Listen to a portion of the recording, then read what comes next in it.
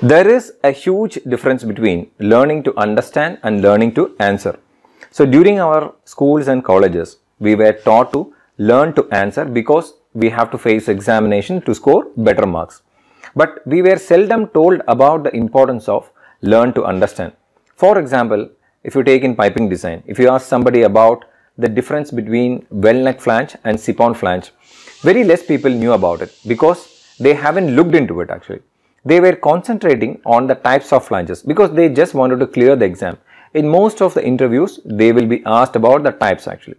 But if some interviews, if you get to face the situation where the interviewer asked you about the difference between the weld neck flange and slip-on flange, you will not be able to say because you didn't realize the importance of understanding.